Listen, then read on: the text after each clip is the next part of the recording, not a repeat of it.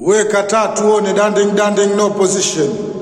Maisha siku ya leo ni kama ngazi, kwa hiyo lazima tuwe na upevu wa mawazo tuweze kufafanua kati ya marafiki ambao wanatuzunguka siku ya leo, kwa sababu marafiki wa ukweli ndio wanaweza kutu, kutufanya sisi tukaweza tukasucceed kwenye maisha, na fake friends wanaweza kutufanya sisi tukapotea kwenye maisha.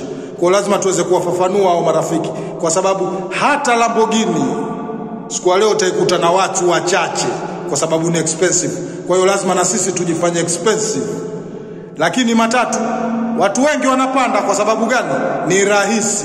Kwa siku leo sisi tusijifanye mapipo please ama marahisi kutaka kuwafurahisha marafiki afu sisi tukapoteza. Kwa leo lazima tumfafanue rafiki wa ukweli na fake friend. Usiogope kupoteza rafiki kwenye maisha. Poteza rafiki, maisha yako succeed. Alafu sikiliza, haya maisha ndio nimeondoka,